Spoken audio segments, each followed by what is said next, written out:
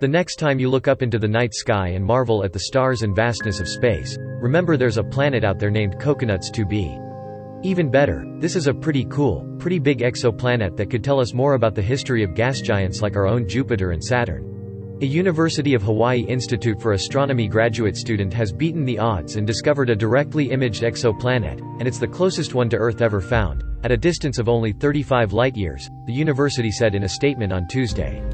Zhoujian Zhang is lead author of a study on the planet. Researchers have spotted over 4,000 exoplanets, and many have been located by looking for a telltale dip in brightness as a planet moves in front of its star. Coconuts 2b's discovery is different. The planet can be directly imaged thanks to emitted light produced by residual heat trapped since the planet's formation, the university said. It can be seen in infrared by a sensitive telescope. The gas giant is truly gigantic with six times the mass of Jupiter. It's name for the cool companions on ultrawide orbits, Coconuts, survey. The survey is seeking out exoplanets, planets located outside of our solar system, that are orbiting pretty far from their host stars.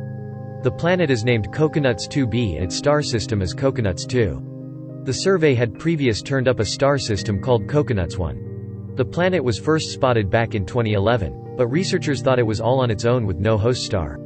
The new study published in Astrophysical Journal Letters this week found the planet is actually orbiting its star at a distance 6,000 times that of the Earth orbiting the Sun. The views on Coconuts 2b would be pretty radical compared to what we're used to on Earth.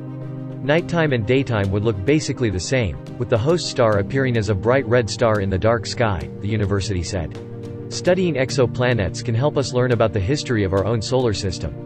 With its huge orbital separation, said Zhang, Coconuts 2b will be a great laboratory for studying the atmosphere and composition of a young gas giant planet.